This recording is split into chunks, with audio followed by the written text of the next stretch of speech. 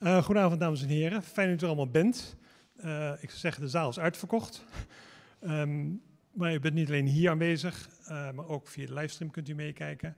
Mijn naam is Arendo Joustra en als hoofdredacteur van LZ Weekblad heet ik u van harte welkom bij deze derde EW-economielezing.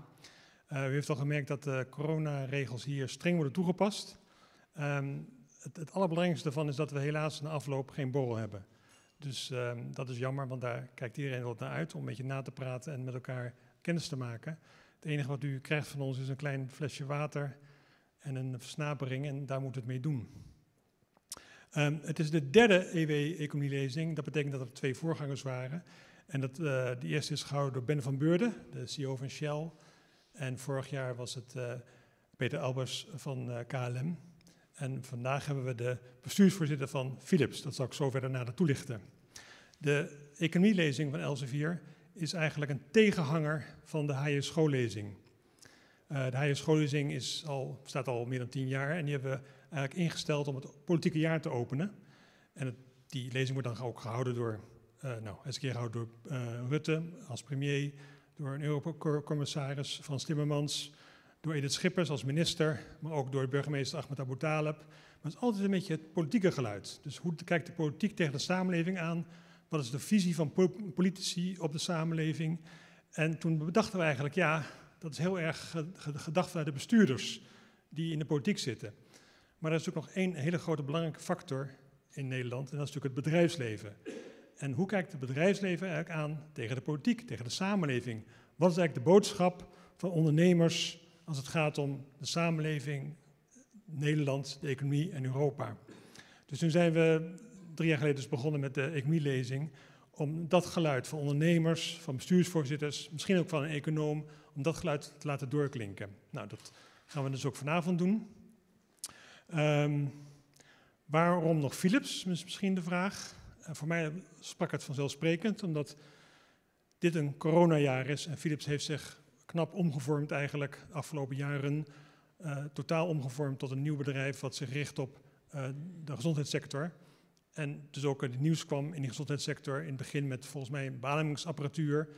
Dus Philips is typisch een bedrijf wat in deze periode met corona een, een grote rol kan spelen of speelt. En ik zeg erbij dat Elsevier als blad zitten we ook veel aandacht aan, aan gezondheidszorg. We doen al uh, 25 of 30 jaar publiceren we elk jaar de lijst met de beste ziekenhuizen. Uh, uh, sinds kort ook met de beste klinieken. En ook hebben we een medicijnendossier. Dus een beetje als de muis en de olifant kan ik zeggen, wat stampen Philips en Elsevier samen lekker hard. Um, dus dat is onze invalshoek eigenlijk om Philips te vragen dit jaar deze uh, economielezing te houden. En zoals ik al zei, die lezing wordt gehouden door de bestuursvoorzitter van Philips, en um, om iets ter toelichting te geven, hij studeerde economie en bedrijfskunde in Rotterdam. Kwam volgens mij toen in 1986 te werken bij Philips. Um, nou, werkte op drie continenten, zoals het gaat bij zo'n grote multinational, leidinggevende posities. Uh, een paar keer onder andere van Philips Elektronica, voor de, ik moet eigenlijk zeggen, de, de consumentelektronica. Hij heeft ook een paar bedrijven uh, verzelfstandigd, ging hij ook mee met die verzelfstandiging. Maar hij kwam zo 2010 kwam hij terug bij Philips. En hij is sinds april 2011 bestuursvoorzitter. En heeft sinds 2011 dus het bedrijf omgevormd tot een totaal ander bedrijf. Wat zich echt richt op de gezondheidszorg. Dames en heren, we zijn met weinig, maar ik vraag uw aandacht en uw applaus. U moet hard klappen met, met z'n weinigen voor Frans van Houten.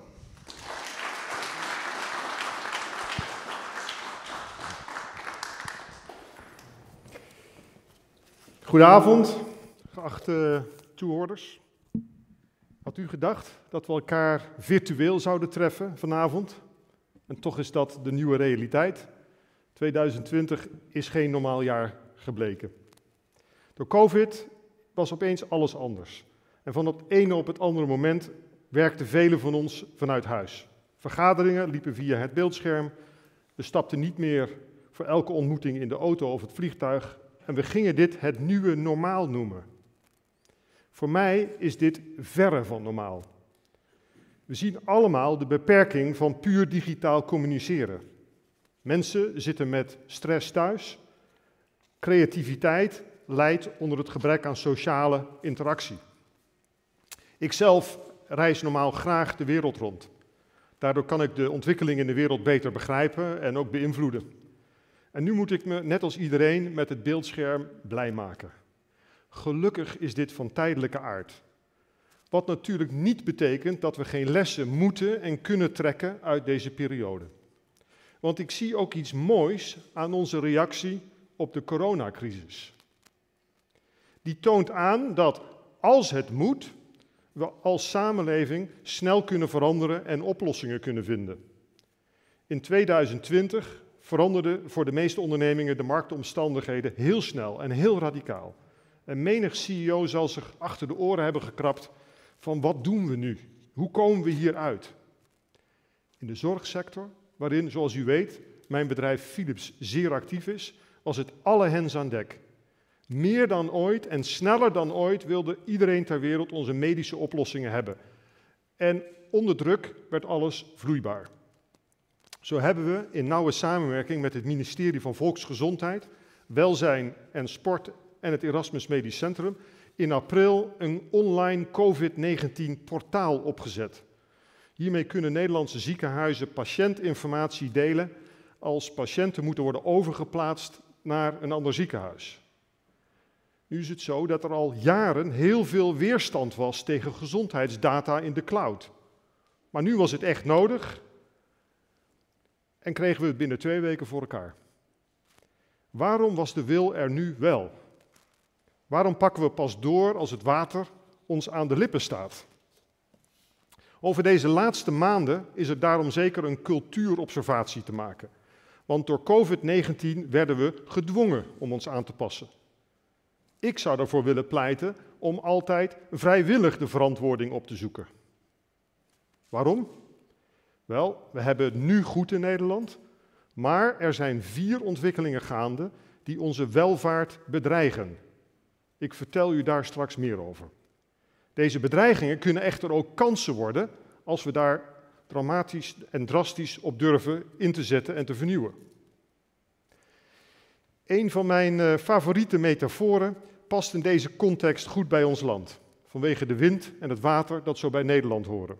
Hij gaat als volgt. Als je met je zeilbootje ergens wilt komen, dan moet je de veilige haven verlaten en de wind opzoeken. Bij windkracht 7 uitvaren is misschien eng en oncomfortabel, maar dan krijg je wel voorsprong op je concurrenten. Wind geeft actie en richting. Wind voert ons naar een nieuwe bestemming. En dat geldt ook voor een bedrijf als Philips. Als je wilt groeien, dan zoek je groeimarkten op en blijf je niet hangen in de haven van het verleden. En dat geldt ook voor een land als geheel, zoals Nederland. Om mee te komen in de wereld moeten we de wind opzoeken. Als we wachten tot de wind gaat liggen, dan hebben anderen die bestemming eerder bereikt dan wij. De komende drie kwartier wil ik daarom niet zozeer het mooie Philips centraal stellen, maar vooral ons land. Ik hou van Nederland. Het is een fijn land om in te wonen en voor Philips een goede thuisbasis. En met mij zijn veel Nederlanders tevreden over ons land. De monitor Brede Welvaart van het Centraal Bureau voor de Statistiek laat dan ook een gelukkige bevolking zien en een relatief eerlijke verdeling van de welvaart. Tegelijkertijd maken veel Nederlanders zich zorgen over de toekomst. Er zijn bevolkingsgroepen die het moeilijk hebben. En er komt nog meer op ons af. Eén voorbeeld. Naar verwachting gaan binnen nu en tien jaar door automatisering en robotisering 700.000 kantoor- en productiebanen verloren. Dat is 8% van al onze banen in Nederland. Als ik naar de wereld kijk, dan zie ik dat de Verenigde Staten en China hun slag slaan in die veranderende toekomst. Welke concurrentiekracht zetten wij daar in Nederland tegenover? Leunen we achterover en plukken we de eindige vruchten van onze ontdekkingsreizen uit het verleden? Of gaan we juist nu opnieuw de wind opzoeken? Nu hoor ik u al zeggen, weer een CEO die over concurrentiekracht praat. En hij wil zeker ook meer groei. Mijn antwoord daarop is volmondig ja. Groei is nodig om iedereen in Nederland te laten mee profiteren. Alleen dan kunnen we de verworvenheden van onze samenleving veiligstellen. Zonder groei geen geld voor onderwijs, cultuur, pensioenen, gezondheidszorg, klimaat, huizenbouw, mobiliteit. Maar we kunnen juist ook duurzaam groeien door te investeren in de sectoren van de toekomst. Bijvoorbeeld in innovaties die bijdragen aan circulaire economie, de energietransitie of onze gezondheid. En vooruit, dan wil ik nog een veel besproken en vaak omstreden punt op tafel leggen. En dit moet allemaal gebeuren in een verenigd Europa. Het is mijn overtuiging dat we een verenigd Europa nodig hebben dat zich kan meten met die twee andere economische grootmachten, de Verenigde Staten en China. We zijn nu op vele gebieden steeds afhankelijker aan het worden van de VS en China. Terwijl pas als zij Europa net zo hard nodig hebben als wij hen, zullen we een gezonde balans samen hebben.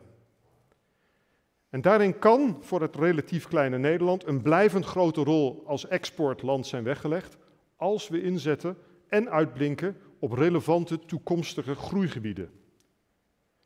Tijdens deze lezing neem ik u daarom heel graag mee op onderzoek naar de concurrentiekracht van Nederland en Europa. Maar eerst loop ik het krachtenveld met u door dat ik eerder al noemde.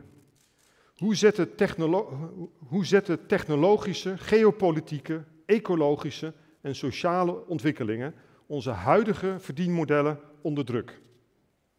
En daarna kijk ik graag naar de kansen. Waar zitten de groeigebieden en de verdienmodellen van de toekomst? Vervolgens leg ik ons land langs de economische meetlat. Hoe goed staat Nederland ervoor om de kansen te pakken? En tot slot, hoe kunnen we ervoor zorgen dat de concurrentiekracht van Nederland en Europa verbetert? Welke verbeteringen moeten we doorvoeren en welke mentaliteit hebben we daarvoor nodig? Dames en heren, samen innoveren is de kern van het antwoord op al deze vragen. Ik ben een optimist die altijd wil uitgaan van onze sterkte. Ik put hoop uit regionale excellentie in Nederland. Als we kijken naar een bloeiende innovatie- en exportregio als Brainport Eindhoven, dan weten we in ons land al lang wat samen innoveren inhoudt. Houdt u alstublieft de gedachte aan dit succesvolle, innovatieve ecosysteem goed vast. Want eerst bespreek ik, met, bespreek ik met u de vier grote krachten die we meester moeten worden. De eerste kracht is de opkomst van nieuwe technologieën. De consequenties daarvan reiken aanzienlijk verder dan het feit dat ik u nu via een beeldscherm kan toespreken. Dankzij het internet kan elk bedrijf de hele wereld als klant hebben. Bedrijven zonder eigen fabriek of eigen winkel hebben de, hebben de afgelopen jaren ingebroken op markten die volkomen uitgekristalliseerd leken. Amazon, Alibaba hebben het retaillandschap radicaal veranderd. Streaming video veranderde de entertainmentmarkt compleet. En ik noemde het al eerder, robotisering en automatisering gaan gestaag door, ook in administratieve processen. Softwareprogramma's van Philips interacteren bijvoorbeeld volledig automatisch met softwareprogramma's van Amazon om real-time vraag en aanbod op elkaar af te stemmen. Maar hebben Nederland en Europa in dit spel van snel veranderende technologieën hun relevante positie op de wereld wel ingenomen? Zeker niet. We lopen zwaar achter op de technologische en productiekracht van respectievelijk de Verenigde Staten en China. Deze twee economische machtsblokken domineren wereldwijd complete bedrijfstakken. Denkt u aan de e-commerce, de sociale mediakanalen, de chipsindustrie, batterijen, zonnepanelen, schaarse grondstoffen. Ga zo maar door. Dan kom ik aan de tweede kracht. Historisch heeft Nederland altijd sterk geprofiteerd van globalisering. Feitelijk spelen, spelen we al sinds de 16e eeuw als klein land ver boven onze macht. Dankzij de wereldhandel heeft Nederland vanaf 1950 bijvoorbeeld een viervoudige inkomensgroei per hoofd van de bevolking gezien. De omvang van onze totale handel, dus import en export bij elkaar opgeteld, is meer dan 150% van ons bruto binnenlands product, vergeleken met 26% voor de VS en 36% voor China. De Nederlandse export heeft daar een aandeel in van meer dan 80%. Dat zie je bijvoorbeeld terug bij Philips. Van onze totale omzet van 20 miljard euro behalen we slechts 3% in Nederland zelf. Vanuit onze twee grote fabrieken in Nederland, in eh, Best en Drachten, exporteren we echter voor meer dan 2,5 miljard euro naar het buitenland. En nu dreigt de huidige geopolitiek deze gunstige positie van Nederland aan te tasten. De Verenigde Staten zeggen multilaterale overeenkomsten op en China houdt zich er slechts heel selectief aan. America First, Made in China 2025 zijn nu de motto's van deze grootmachten. En dat is geen goed nieuws voor Nederlandse ondernemingen en onze exportgeoriënteerde economie. En ook door Brexit krijgen we nog tegenwind. Intussen gaat de klimaatverandering door. Dat is de derde kracht die de wereld in zijn greep houdt. Als we er niets aan doen, zal de opwarming van de aarde volgende generaties voor onoplosbare uitdagingen plaatsen. De ecologische dreiging maakt ook onze concurrentiepositie op de wereldmarkt ook vandaag al onzeker. De traditionele sterkten van onze gunstig gelegen delta komen daarmee onder druk te staan. Bijvoorbeeld, wat zijn de gevolgen voor onze landbouw? Hoeveel water blijft er eigenlijk wel door de Rijn stromen? En doordat we overal ter wereld van de fossiele grondstoffen afstappen, vervaagt vermoedelijk onze zeer sterke positie in de petrochemie. Als vierde kracht is er, onze als vierde kracht is er in onze wereldsamenleving sprake van toenemende sociale onrust. Die wordt aangewakkerd door onzekerheid over de toekomst en door sociaal-economische ongelijkheid. Deze ongelijkheid is in de G20-landen, de 19 grootste ter, economieën ter wereld, plus de Europese Unie, de laatste decennia toegenomen. Het aandeel van arbeid in het inkomen van deze landen is gedaald. In de, meeste westerse, in de meeste westerse samenlevingen, en met name in de Verenigde Staten, zien we daarom een groeiende kloof, zowel materieel als sociaal. Nu is in Europa en vooral in Nederland de inkomensongelijkheid in vergelijking met de VS relatief laag. Dat wil niet zeggen dat ons land geen sociale uitdagingen kent. Ook hier blijven groepen achter en zien we de kloof eerder groter dan kleiner worden. Qua sociale mobiliteit scoren we over het algemeen weliswaar goed, maar er zijn zwakke punten. Juist als het gaat om mensen met weinig opleiding of in kwetsbare beroepen. De werkloosheid onder deze groepen is ook in Nederland relatief hoog. De toegenomen ontevredenheid in Nederland is net zo begrijpelijk als zorgwekkend. Nederland is geen land zoals de Verenigde Staten. Wij willen hier geen onderlinge strijd. Dat past niet zo goed bij onze cultuur, waarin we eigenlijk elkaar willen helpen. Ook daarom moeten we ons verdienvermogen versterken, want goede sociale voorzieningen kosten veel geld. Ik beschreef u vier overweldigende krachten. We moeten ons daar echter niet door laten verlammen. Want door in de haven te blijven schuilen, blijven we stilstaan, komen we nergens. Geachte toehoorders, ik zeg het maar even plomp verloren, stilstand is achteruitgang. De noodzaak om te blijven bewegen zien we ook steeds sterker in het bedrijfsleven. In 1958 bestond een beursgenoteerd bedrijf in de Standards Poor's Index gemiddeld 61 jaar. Nu is dat nog slechts 18 jaar. Willen bedrijven een tweede of zelfs een derde of vierde leven beginnen, dan zullen zij zichzelf met enige regelmaat opnieuw moeten uitvinden. In Nederland is DSM een mooi voorbeeld. Van mijnbouw naar chemie naar life sciences. Ook Philips is in al 129 jaar lang doorleefd van het spel van vernieuwing en disruptie. We begonnen in gloeilampen, toen in radio's en televisies. We vonden het cassettebandje en de CD-speler uit. Maar in deze traditionele markten verloren we aan relevantie. Sinds ik in 2011 bij Philips de rol van CEO op me heb genomen, heb ik moeilijke keuzes moeten maken. We hebben onze koers verlegd om zo te kunnen winnen in de groeiende markt van gezondheidstechnologie.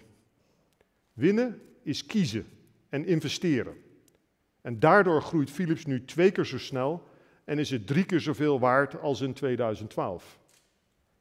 Om bij mijn metafoor te blijven, dat is nieuwe zeeën proberen, dat is nieuwe zeeën durven te bevaren om relevant te blijven. Maar, zult u zeggen, Nederland scoort toch uitstekend op alle ranglijsten als het gaat om innovatie en vestigingsklimaat. Ja, dat is zo, nu nog wel. Maar wat is de houdbaarheid van onze huidige verdienmodellen? Het is namelijk nog niet zo lang geleden dat Nederland distributieland met een seaport en een airport het motto was waar heel Nederland zich achter schaarde. Dat was de beproefde motor van onze economie. Onze gunstige ligging aan het Rijn-Maas-Delta-gebied bood een vruchtbare bodem, een ideaal logistiek knooppunt en een prettig leef- en vestigingsklimaat. Vanuit onze delta konden we het hele Europese achterland bevoorraden. Raffinaderijen en chemiefabrieken streken niet voor niets in onze havens neer. En onze voedsel en onze bloemen profiteerden niet alleen van onze klei en het milde zeeklimaat, maar ook van de 24 uur distributie die onze seaport en airport kunnen bieden. En daardoor spelen we een rol van wereldbetekenis in onder meer de landbouw, de logistiek en de petrochemie. Maar met name in de petrochemie en de logistiek is een sterke tegenwind opgestoken. De winsten in de petrochemie zijn tussen 2010 en 2019 sterk gekrompen. Dus al voor de coronacrisis. En het is de verwachting dat deze krimp tot 2023 verder doorzet. ING Bank stelt intussen dat de gedaante van Nederland als transportland verandert naar een poort van Europa, naar een logistieke hub, vooral ook vanwege de groei van de nieuwe zijderoute, Brexit en, en onze eigen stikstofregels. Ook de landbouw heeft met structurele uitdagingen te maken en vooral ten aanzien van het milieu. In welke groeigebieden kan Nederland dan zijn gunstige uitgangspositie opnieuw formuleren om daarmee toch onderscheidend te zijn in de wereld?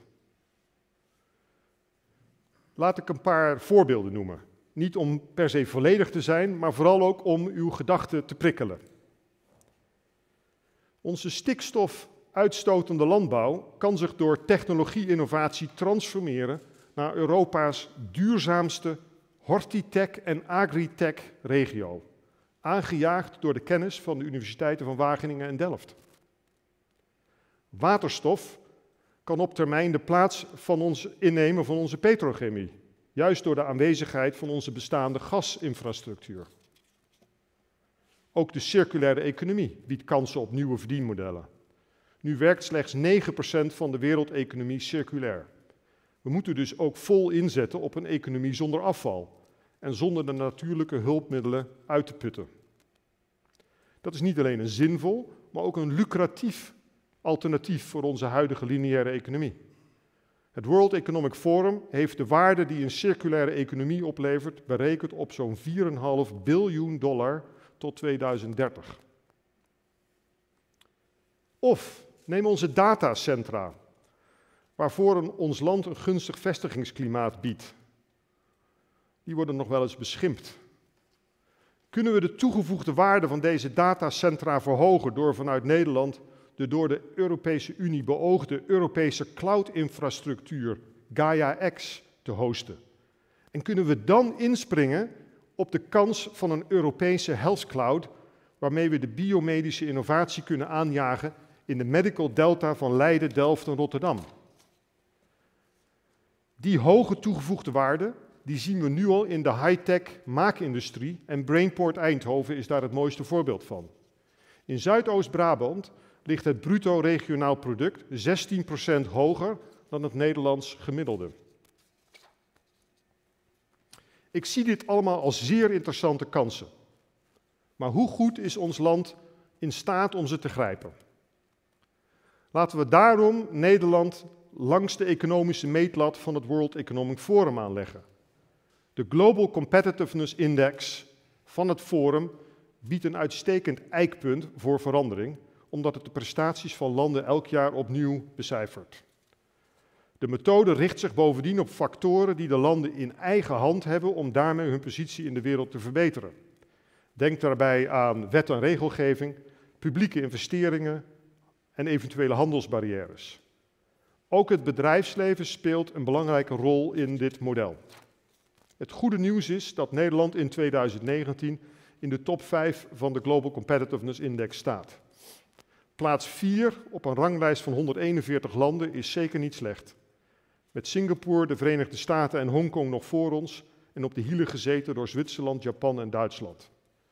Maar heel opvallend, heel opvallend, juist de indicatoren die voor onze toekomst belangrijk zijn, blijven achter. Neem bijvoorbeeld onze ICT-adoptie. Nederland staat op die ranglijst pas op de 24ste plaats, ruim achter lijstaanvoerder Zuid-Korea. Als we kijken naar onderwijs, nog zo'n vitaal element voor de toekomst, dan staan we met ons gemiddeld aantal schooljaren op de 26e plaats, ver achter Duitsland. Er is dus meer aan de hand. Sterker nog, ik voorspel u dat Nederland bij ongewijzigd beleid over vijf jaar niet meer in deze top 5 staat. Hoe onderzoekt de Global Competitive Index de prestatie van landen?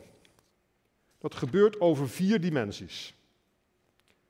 De dimensie markten kijkt naar de thuismarkt, de arbeidsmarkt en de financiële markten. De dimensie, de dimensie menselijk kapitaal kijkt naar gezondheid, scholing en de vaardigheden van inwoners. De dimensie ondersteunende omgeving kijkt naar instituties, infrastructuur, macro-economische stabiliteit. En de dimensie ecosystemen meet de ondernemerscultuur en het innovatievermogen van een land. Deze laatste dimensie gaat mij het meest aan het hart. Want dat is precies de dimensie waarvan ik overtuigd ben, ben dat die ons gaat helpen. En het is ook de gedachte die ik u aan het begin van mijn verhaal al vroeg om vast te houden. Nederland als een, bij, als een nijvere bijenkorf van innovatie en samenwerking. En het mooie is, in het klein is deze oplossing in Nederland al aanwezig. De innovatiecluster Brainport Eindhoven is al twintig jaar een broedplaats voor complexe machines en vernieuwende producten die de wereld beter maken. Dankzij Philips, ASML, NXP, Signify en al hun toeleveranciers zoals VDL, ProDrive en Frenke is dat kleine stukje Brabant wereldleider in onder andere de halfgeleiderindustrie en de medische technologie.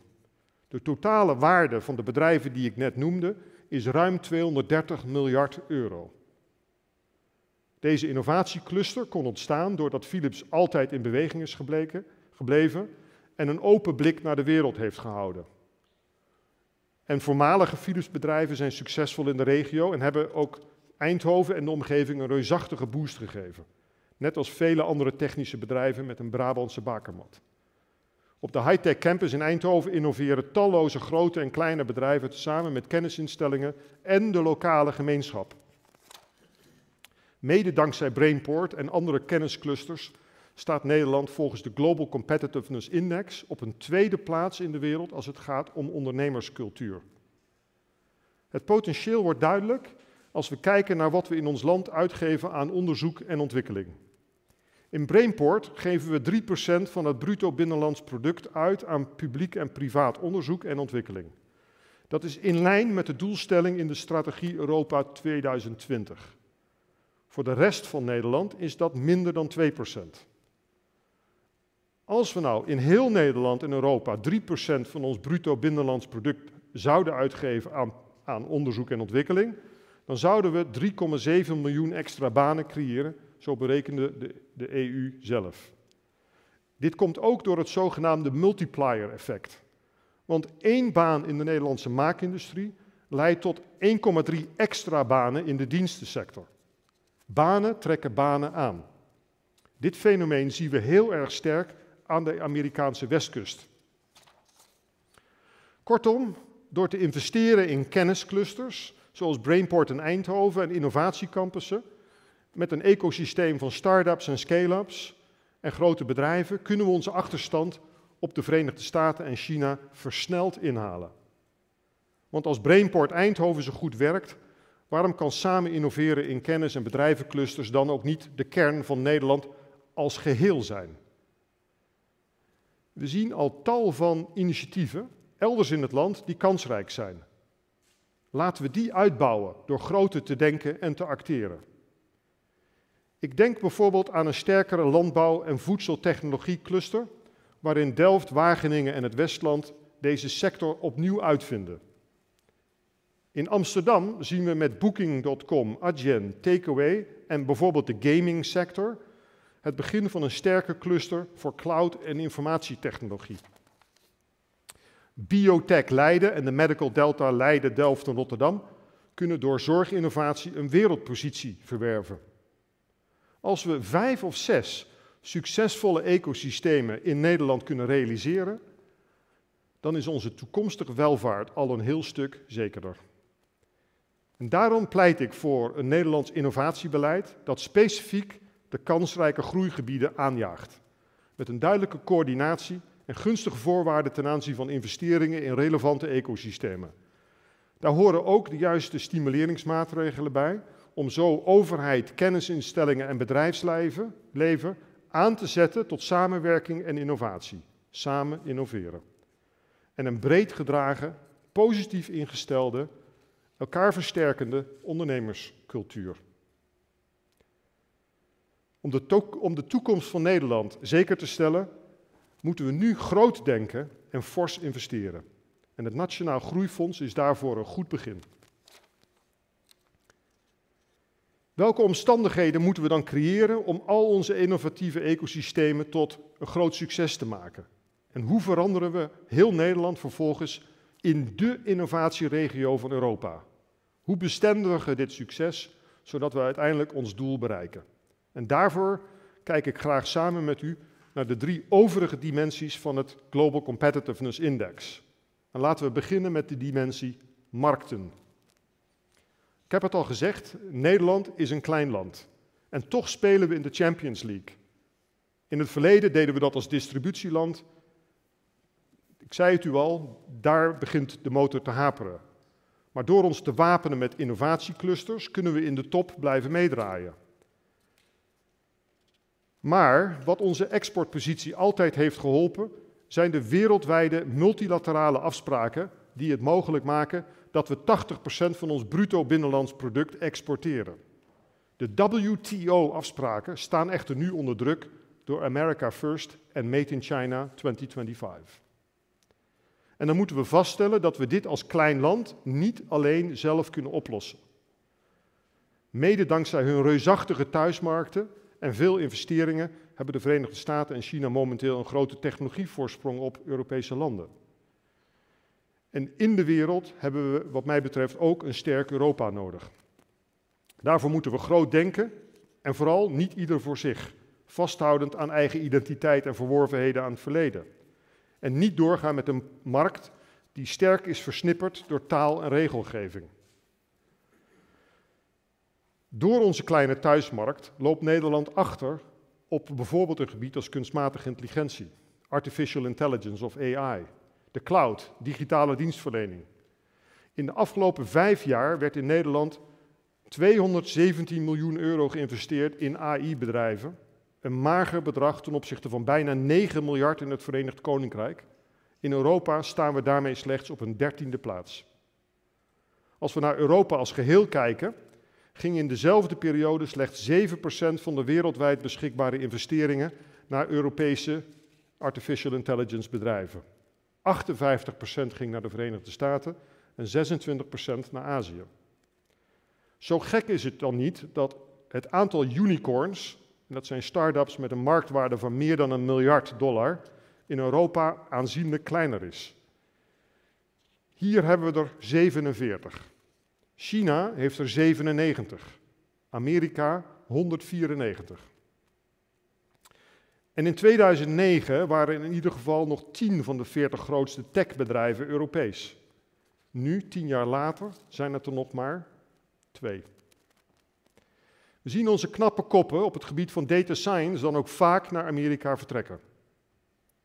Maar ook het Europese mededingingsbeleid ontmoedigt schaalvergroting. Consolidatie is in Europa moeilijk, omdat er wordt gestreefd naar maximale concurrentie binnen elk land van Europa, hoegenaamd in het belang van de consument. We zouden echter niet alleen moeten kijken naar de concurrentieverhoudingen van Europese bedrijven binnen Europa, maar juist hoe sterk zij staan op het wereldtoneel. Want de werkgelegenheid die deze bedrijven bieden, zijn zeer belangrijk voor Europa en voor de consumenten van Europa. Zo hebben we in Europa op dit moment meer dan 100 telecom operators om 95% van de bevolking te bereiken. Terwijl dat er in China en Amerika twee of drie zijn. Mede door deze fragmentatie lopen we achter op investeringen in de 5G-netwerken. Terwijl die 5G-netwerken juist voor de toekomstige maakindustrie in Europa van wezenlijk belang zijn. De politiek en uh, industriebeleid van de Verenigde Staten en China zijn juist gericht op kracht, macht en eigenbelang. Maar marktmacht en Europese kampioenen zijn in Europa omstreden begrippen. En dat is bepaald een handicap in de concurrentiestrijd tussen de top drie in de wereldeconomie. Ik zou graag Europese bedrijven zien die wereldkampioen kunnen worden. En daarom ben ik voorstander van een Europees mededingingsbeleid met een wereldperspectief op de toekomstige machtsverhoudingen. In het verlengde daarvan pleit ik voor een industriepolitiek waarin onze Europese bedrijven worden aangemoedigd om te groeien en te blijven concurreren met Amerikaanse en Chinese evenknieën. Want pas als we sterke Europese bedrijven creëren met unieke sterktes, kunnen we een wederkerige afhankelijkheid tussen de drie grootste economie, economieën van de wereld tot stand brengen en handhaven. Daar heeft overigens niet alleen Europa baat bij, maar wat mij betreft de hele wereld. Daarmee kom ik bij de volgende dimensie van de Global Competitiveness Index, die van menselijk kapitaal. Ook op dat vlak kunnen we voortgang boeken. Duurzame innovatie begint immers bij goed onderwijs. Daarom is het verontrustend dat de schoolprestaties in Nederland wegzakken. Zo is de leesvaardigheid van de leerlingen op de basisschool in enkele jaren tijd met 17% gedaald. Dezelfde trend zien we in het voortgezet onderwijs. Bovendien kiest slechts 15% van de Nederlandse studenten voor een technische studie. In de landen van de Organisatie voor Economische Samenwerking en Ontwikkeling, de OESO, e ligt dat cijfer op 26% Daar moeten we er iets aan doen, want kennis van technologie en kunstmatige intelligentie is straks in alle sectoren nodig. Ook in de zorg, ook in de landbouw, ook in de supermarkt. Om u een idee te geven, 3 miljoen werknemers hebben in Nederland de komende 10 jaar behoefte aan bijscholing in digitale vaardigheden.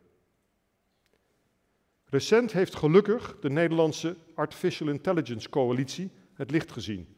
Een publiek-private samenwerking die een ambitieus investeringsprogramma heeft ingediend bij het beoogde Nationale Groeifonds.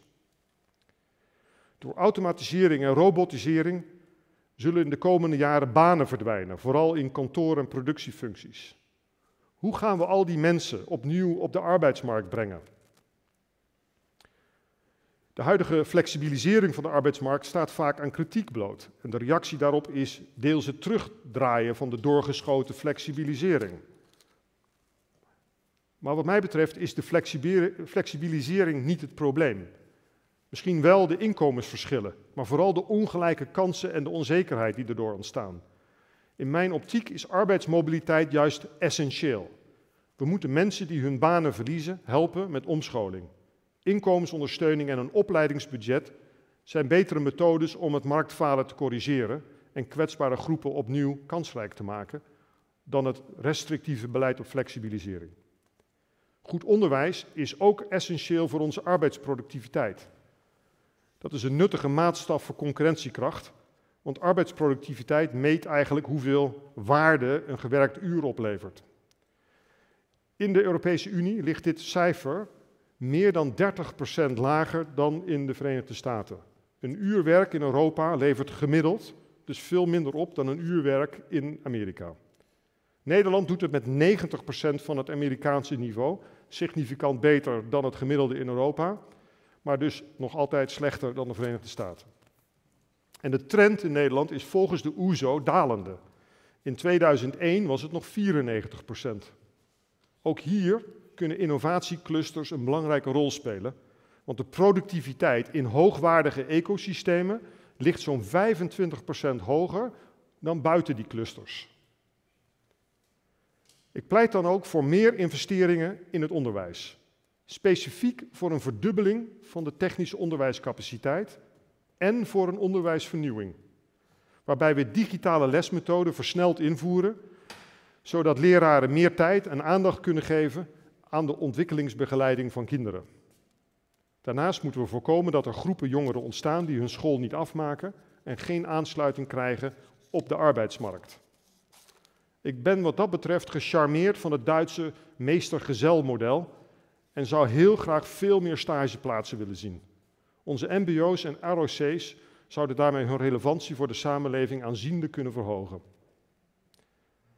Voor mij gaat onderwijs trouwens over meer dan school en de juiste vervolgopleiding op jonge leeftijd. De wereld verandert inmiddels te snel om een heel werkzaam leven te teren op één periode van onderwijs. Om die reden hebben we behoefte aan een onderwijspolitiek waarin een leven lang leren centraal staat. Bijvoorbeeld voor veertigers die een carrière-switch willen maken. En vooral voor de omscholing van mensen met vaardigheden die we straks niet meer nodig hebben. Elk jaar aan extra onderwijs voor de hele beroepsbevolking leidt tot een toename van 10% van ons bruto, nationaal, bruto binnenlands product. Steken we die extra kennis vervolgens in onderzoek en ontwikkeling, dan levert elke euro aan het einde van de rit 4,5 euro op. Dat is een rendement waar iedere CEO voor zou tekenen. Tegelijk moeten we ook niet bang zijn om voor kennis over de grens te kijken en de beste mensen naar Nederland te halen. Ik denk daarbij bijvoorbeeld aan de 30%-regeling, waarbij werkgevers 30% van het loon onbelast mogen uitbetalen als vergoeding voor de kosten die deze mensen maken voor het verhuizen naar en werken in ons land. Het positieve resultaat zien we bij de duizenden high-tech kennismigranten die werkzaam zijn in Brainport Eindhoven.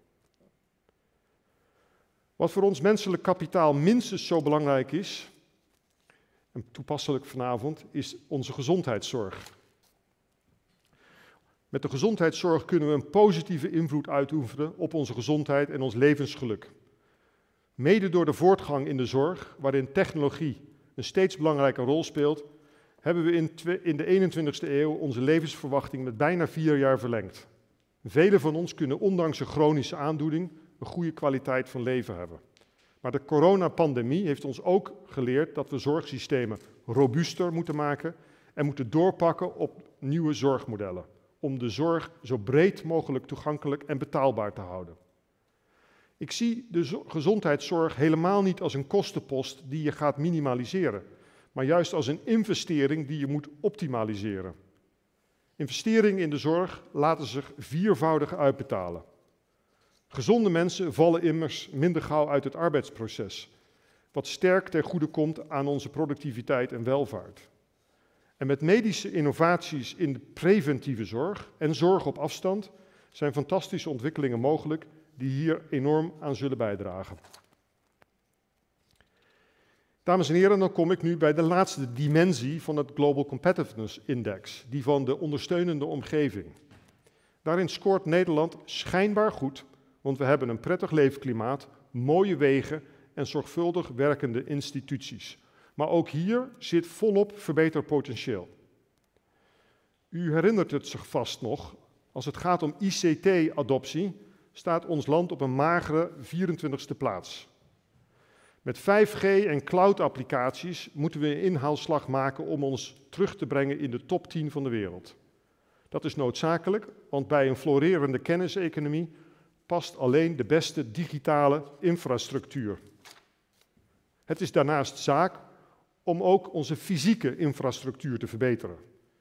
Want als ik pleit voor economische groei en meer mensen die in Nederland komen werken, moeten we ook de krapte op de woningmarkt en de fileproblematiek structureel aanpakken. Wat als we nu wel zouden investeren in hoge snelheidsverbindingen tussen Oost- en West-Nederland, tussen Noord- en West-Nederland, zodat we krimpgemeenten daar nieuw leven in kunnen blazen en enkele honderdduizenden huizen kunnen bouwen in een mooie leefomgeving. Ik stel me dan voor dat mensen ten dele thuiswerken en deels via hoge snelheidsverbindingen naar hun kantoren, maar ook naar de labs komen voor essentieel creatief samenwerken. Dan benutten we heel Nederland, waarin de economische groeikernen in goede balans zijn met woon- en natuurgebieden en waarbij alle provincies kunnen meeprofiteren van de groei. Groeien is ondernemen. Voor ondernemerschap is het, belang, is het van belang dat we de regelgeving in ons land simplificeren, defragmenteren en van de juiste incentives voorzien. Ook die noodzaak zien we terug op de meetlat van de Global Competitiveness Index. Wij zijn op de 55ste plaats te vinden als het gaat om de kosten die je maakt als je een bedrijf wilt beginnen. Qua interne arbeidsmobiliteit staan we op de 71ste plaats. En op hetzelfde vlak van fragmentatie kom ik ook opnieuw uit bij het onderwerp Europa. Europa is nog altijd een puzzel met duizend niet passende stukjes. 83% van de Europese bedrijven vreest de administratieve complexiteit zodra zij de landsgrenzen oversteken. Meer nog dan de taalbarrière die 45% van de bedrijven als een lastig te nemen horde ziet.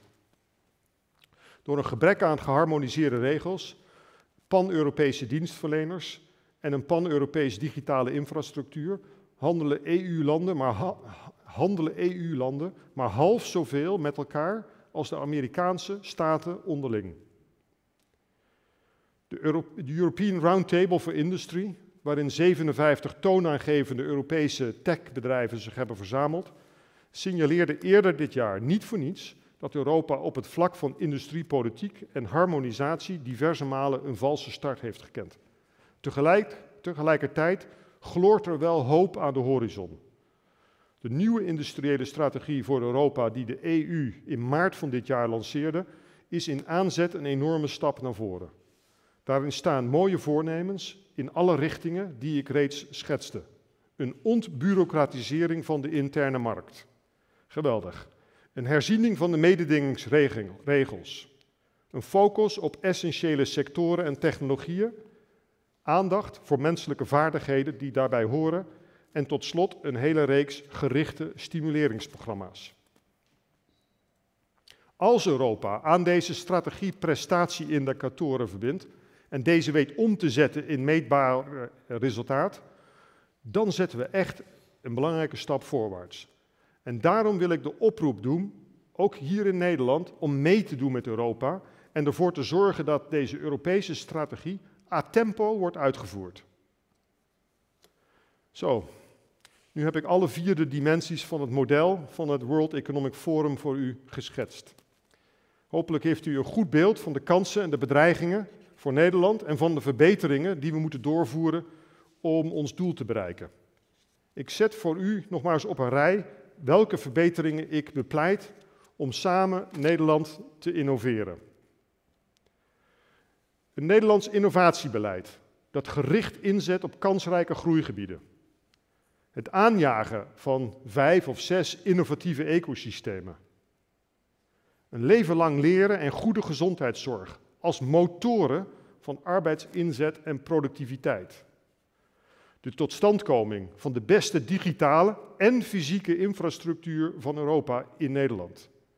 En tot slot de defragmentatie van de Europese markt. Welk beeld zie ik voor me als we in al deze ambities slagen? Hoe ziet Nederland er dan over één generatie uit? Sta mij toe om even met u te dromen over de toekomst of die van onze kinderen. Dan zie ik een Nederland als bruisende innovatiedelta voor 20 miljoen mensen. Met een hoge arbeidsproductiviteit, welvarend, met sociale cohesie en goede voorzieningen, waar we genieten van natuur en cultuur. Net zo dynamisch als New York, net zo actief als Shanghai. Maar met meer lucht en een groter groen hart. En met het levensgeluk dat je van een Europese metropool mag verwachten. Een Nederland waarin we vast kunnen houden aan de diversiteit van culturen en ethisch en verantwoord ondernemen. Met oog voor iedereen en met de blik altijd op de lange termijn. Dan zie ik kortom een Nederland dat zijn kansen heeft gepakt en zich heeft getransformeerd tot de duurzaamste economische motor ter wereld. Met een sleutelpositie op het Europese continent dat de concurrentie aan kan met de VS en China. Op basis van alle elementen die we eigenlijk al in het klein in Brabant koesteren, maar die we over heel Europa en Nederland zouden kunnen uitspreiden. Dat is het plan.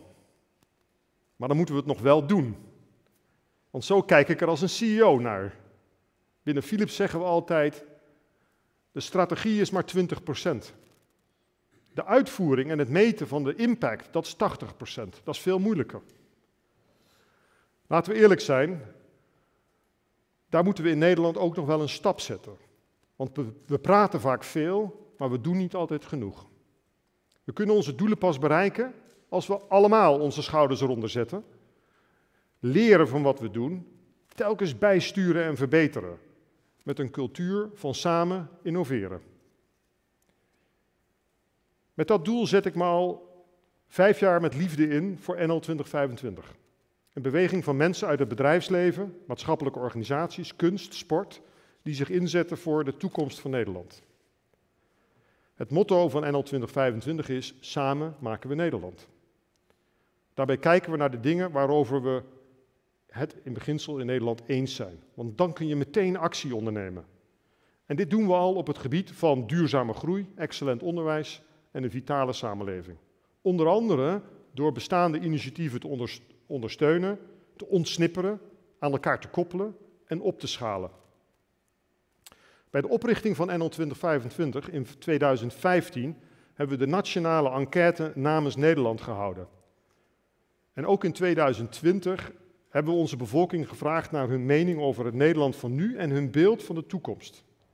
Het was de grootste en breedste enquête die ooit in Nederland is gehouden. Meer dan 170.000 mensen deden eraan mee. Wat vooral opviel aan de resultaten is de wil om te veranderen. Er is een extreem groot draagvlak om met elkaar in Nederland een grote sprong voorwaarts te maken. Zo'n 80% van alle Nederlanders is het daarover eens. En dat is een groep die doorgaans niet het hardste roept en niet het meeste klaagt. Laten we luisteren naar die groep en niet alleen maar op de verschillen die door de, door de flanken worden genoemd. Sterker nog, die brede middengroep wil zelf de handen uit de mouwen steken door meer te werken, tot vier uur meer per week. En dan kunnen we tezamen 10% meer belasting opbrengen. Dat is goed nieuws. Precies wat we nodig hebben om de verdienmodellen van Nederland opnieuw uit te vinden en de nodige investeringen te doen. Natuurlijk, dit gaat tijd kosten. Ook Brainport had 20 jaar nodig om te groeien tot zijn huidige vorm.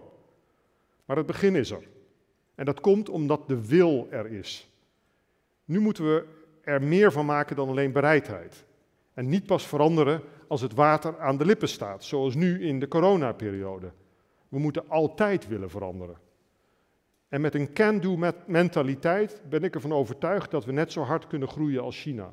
Maar dan op een verantwoorde en duurzame manier die bij Nederland en bij Europa hoort. Daarom vraag ik u, doe mee. Werkt u bij de overheid? Stimuleer dan het ontstaan en de groei van meer broedplaatsen zoals Brainport. Bent u ondernemer? Investeer, innoveer, werk samen, groei. Bent u kennisinstelling of investeerder? Durf het dan aan om start-ups en scale-ups van Nederland te doen groeien en tot unicorns te maken. Hebt u een knappe kop? Ga techniek studeren en laat uw talent in een innovatiecluster tot zijn recht komen. Of bent u goed met uw handen? We hebben heel veel doeners nodig om de investeringen in de innovatieclusters, maar ook in die grote infrastructuur van Nederland te realiseren. En ik? Wat doe ik zelf, zult u misschien vragen? Ik noemde al mijn inzet voor NL 2025. Ik steek onder meer tijd in het coachen van innovatieve ondernemers in het midden- en kleinbedrijf, om hen te helpen te groeien, te exporteren. Dames en heren, als optimist geloof ik er stellig in, met denkers, met aanpakkers, met investeerders. Samen lukt ons het. De kansen liggen er. Het is aan ons om ze te pakken. Alles draait erom om een plan te maken, het eens te zijn en het in de komende jaren consequent uit te voeren. Door samen te innoveren creëren we een sterk Nederland in een verenigd Europa. En zo kan ons kleine land ook straks Champion League in de wereld blijven spelen. Ik hoop dat u uh, met mijn verhaal inspiratie hebt opgedaan over de toekomst van Nederland. En vooral dat u ook in actie komt. Dank u wel.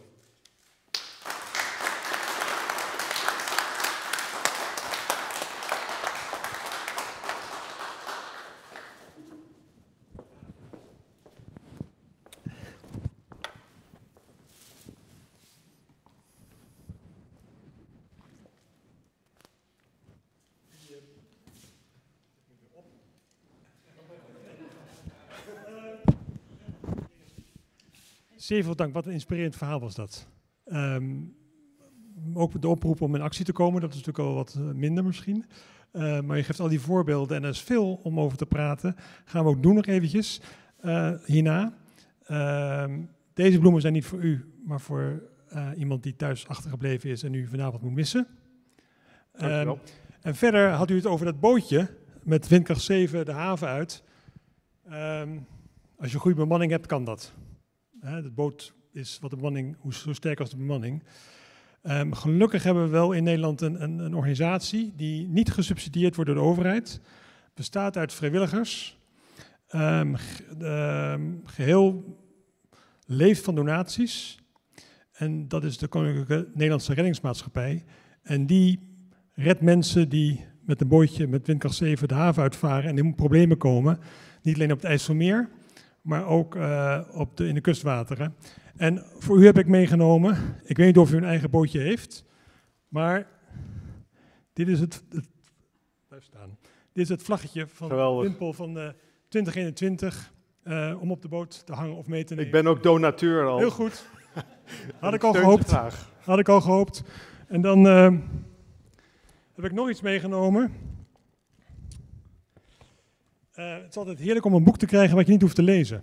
Want je hebt natuurlijk al boeken die je zelf uitkiest. En als je een boek krijgt, dan moet je dat boek weer gaan lezen. En dit is een boek wat ik hoop dat u nooit hoeft te lezen en ook nooit hoeft te gebruiken. Maar het verbindt wel een beetje uw hobby uh, zeilen met Philips. En dat is namelijk het Medisch Handboek voor de watersporters. Oh, geweldig. Dus, uh, alsjeblieft. Laat ik het hopen nooit no nodig Precies. te hebben. Ja, bedankt. Nooit, no maar wel een keer bekijken. Um, ja, en dan, als u nog kijkt via de videostream, dan kunt u vragen stellen. Uh, Matthijs krijgt die vragen binnen. Matthijs, wat is het ook alweer de, de, het nummer? Dat is hier, geloof ik. Ja, vragen kunt u stellen aan uh, vragen.ewmagazine.nl. Um, misschien zijn er ook vragen in de zaal. Laat ik zelf, om even de, het ijs te breken, met een vraag beginnen. Ik zat zo naar u te luisteren. Uh, en omdat ik ook had verteld dat de, dit een beetje de tegenhanger is van de schoollezing. Schoollezing waar de, waar de politiek spreekt. En hier spreekt dan het bedrijfsleven. En ik neem aan dat u niet alle verkiezingsprogramma's heeft gelezen, maar straks is de formatie na 17 maart. Als u dat hele verhaal van u nou niet samenvat, maar wat verwacht u dan, wat hoopt u dan dat er straks in de formatie wordt opgenomen, in de stukken, wat een beetje tegemoet komt aan het hele programma wat u uh, nu heeft uh, uitgespeeld voor de politici? Kijk, ik heb gezegd, winnen is kiezen. Dus uh, betekent ook dat de overheid met ons, met ondernemers, moet inzetten op die nieuwe groeikansen. Uh, en niet vasthouden aan het verleden. Dus ik, ik, hoop en ik verwacht ook van politieke partijen dat ze moedig zullen acteren. En het is best wel moeilijk om uh, in de politiek te zijn. En ik, ik, heb daar heel veel sympathie voor, want het is een hele belangrijke baan. Um, maar je kunt het niet iedereen naar de zin maken. Als er keuzes gemaakt moeten worden om te investeren in groeigebieden die pas over vijf jaar misschien resultaat laten zien, dan moet je het ergens anders misschien ook wel wegnemen. en je moet ook verwachten dat iedereen zijn bijdrage levert. Dus het is helemaal niet makkelijk om in de politiek te acteren, maar met een, een, helder, een heldere visie, met, met elkaar de krachten verbindend, kunnen we heel ver komen. En dat is natuurlijk waar ik vanavond over gesproken heb. Maar het is voor een bedrijf soms makkelijker om, om, om keuzes te maken en om te winnen dan voor want u, hè, u zit dan voor het lange termijn en de politiek is toch vaak misschien wat meer de korte termijn.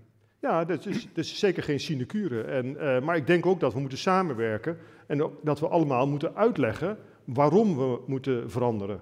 Kijk, bij het bedrijfsleven uh, hebben we het vaak over veranderingsmanagement. Het meenemen van de mensen omdat je uh, offers moet brengen of omdat je moet transformeren. En, en feit is dat in een land niet anders. We zullen met elkaar op moeten schuiven en dan moet je iets opgeven om er iets anders voor terug te krijgen. En daar is weer moed voor nodig. En daar is moed voor nodig en ook veel communicatie. Oké, dat zijn we vanavond weer begonnen. Uh, Matthijs, zijn er vragen binnen bij jou? Ja, we hebben een uh, vraag van A. Dekkers. En uh, met die vraag kunt u aan de bak. Hij luidt namelijk als volgt. Hoe komen we van een United States of Europe naar een United States of Europe? Ja, dat begint met het willen. Ja? En uh, ook in Nederland willen we graag profiteren van een goed Europa, maar zijn we niet bereid ook om een deel over te dragen voor de beleidsvorming en uh, de governance van Europa. dus voor een verenigd Europa zullen we ook moeten accepteren dat sommige beleidsmaatregelen door Europa moeten worden gedaan. En misschien ook niet uh, met unanimiteit van alle deelstaten, want het duurt veel te langzaam dus ik denk dat er wel iets mag veranderen in de governance van Europa. Um, wat helemaal niet hoeft in te houden dat we hier in Nederland niet zelfstandig kunnen innoveren. want er is meer dan genoeg ruimte voor. Dus ik hoop dat we met elkaar accepteren dat een Verenigde Staten van Europa ook betekent dat er een federale overheid gaat komen. Is er ook een vraag in de zaal hier? Ik heb hier een microfoon, ik kan ook naar u toe komen lopen.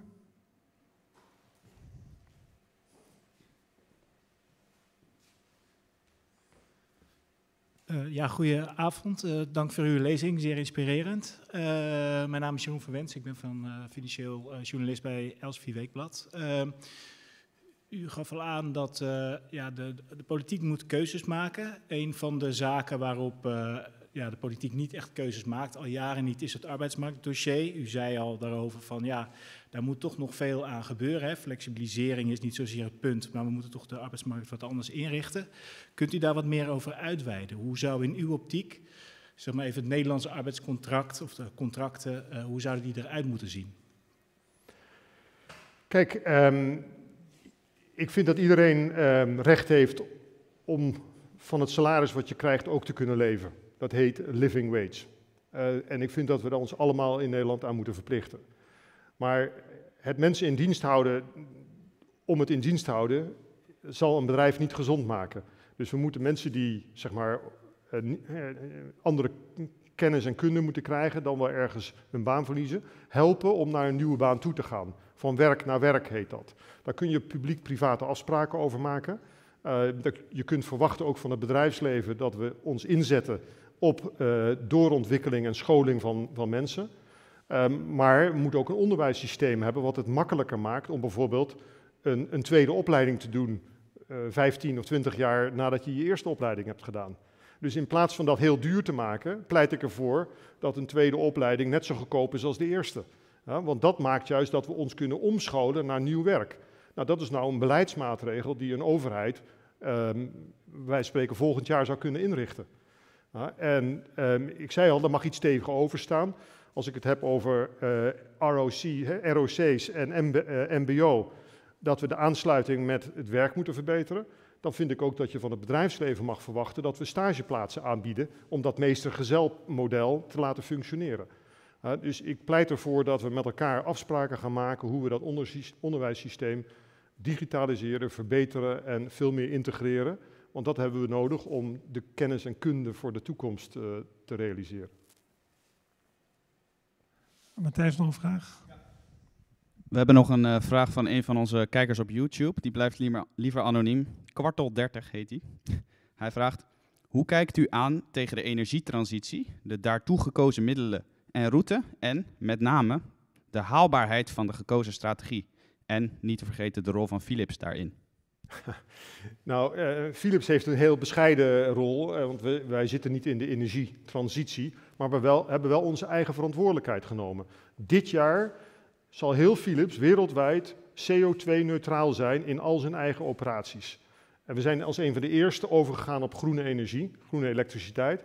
Uh, we hebben mede het windpark in Krammer gesubsidieerd of gefinancierd, zodat we de groene energietransitie aan konden jagen. Dus dat is een bijdrage die, die wij kunnen doen. Um, ik denk ook dat we met elkaar uh, realistisch moeten zijn, dat, dat gas minder vervuilt dan kolen of olie. dat we moeten kijken wat is een realistische transitie.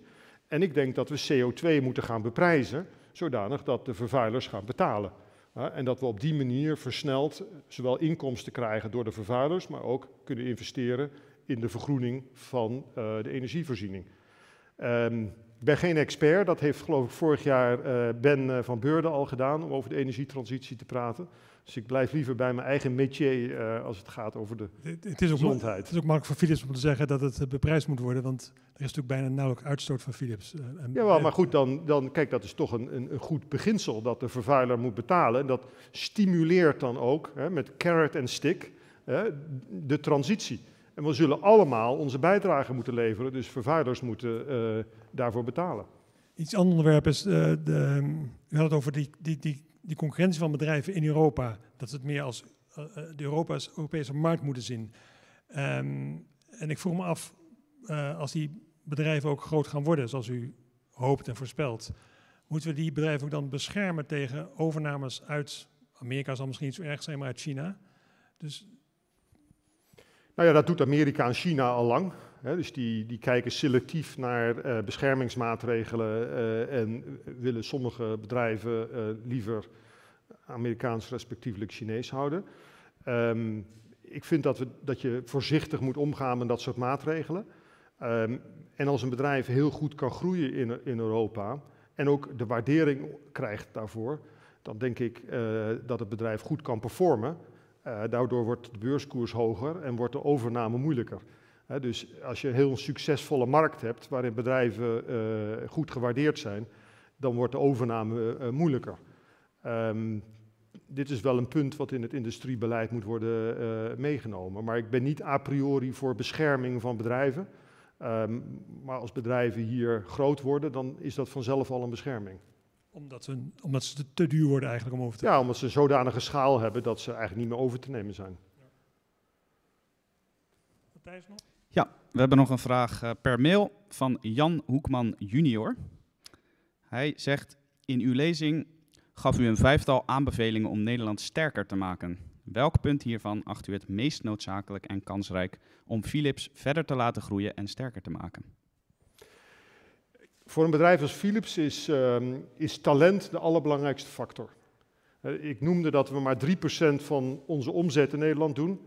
Uh, dat we twee grote fabrieken hebben, maar we doen onder andere 40% van onze research and development in Nederland. En we hebben eh, ja, ruim 11.000 medewerkers. Het vinden van genoeg mensen met artificial intelligence, data science opleiding, is iets wat, waar ik me echt zorgen over maak.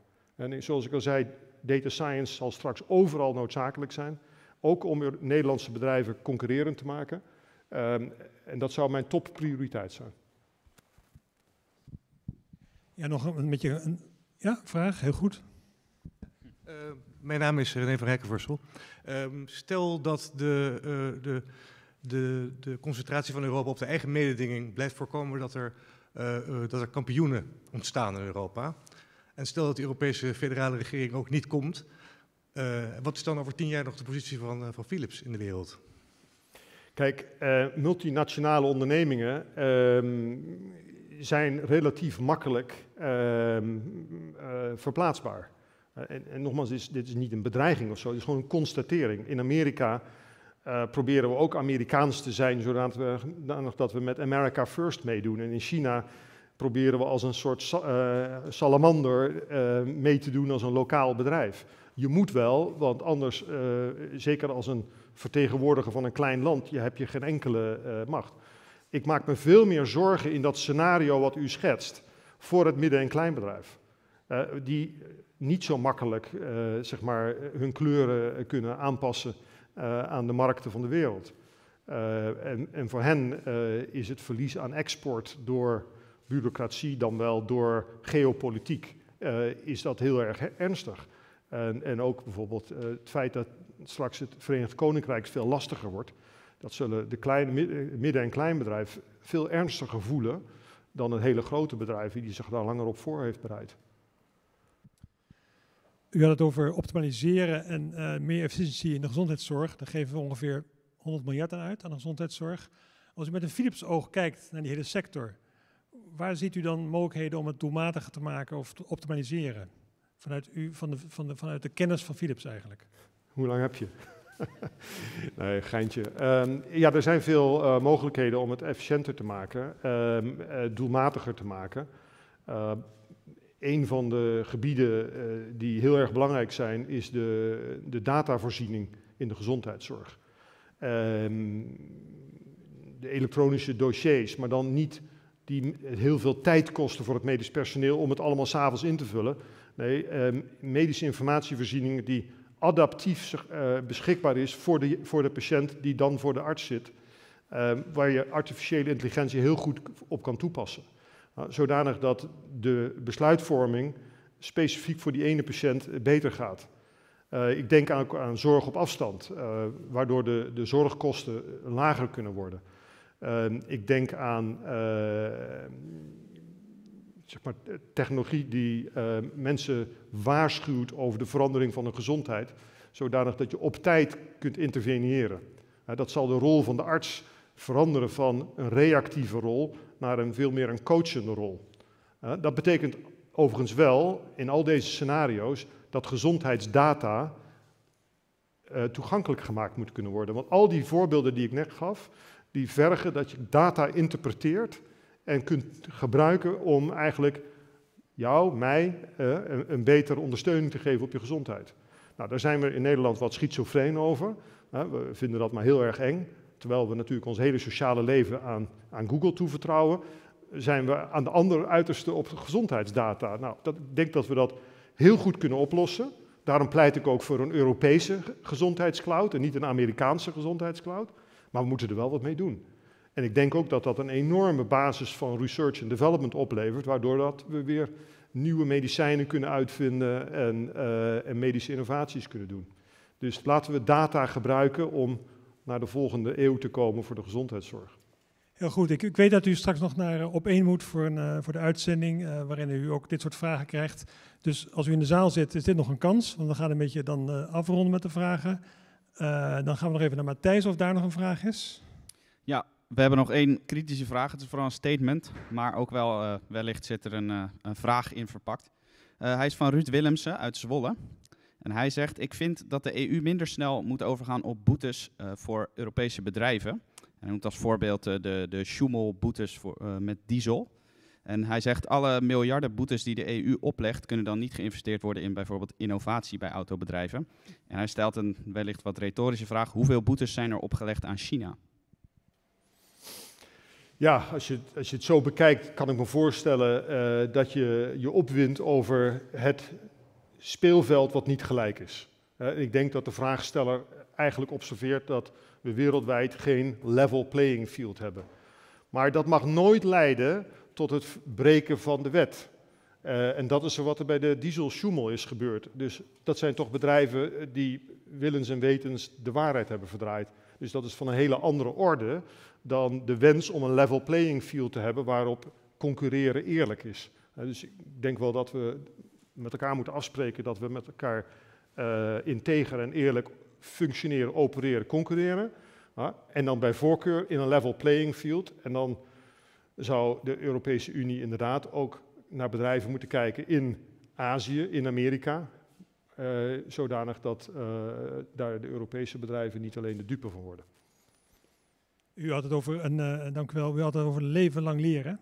En ik vroeg me af, uh, een 60-jarige CEO, hoe, hoe, hoe, doet hij, hoe leert hij nog eigenlijk? Behalve van wat hij in zijn werk, maar wat is er nog een, een, een cursus die u volgt? Of is, is dat ook nog voor u van belang?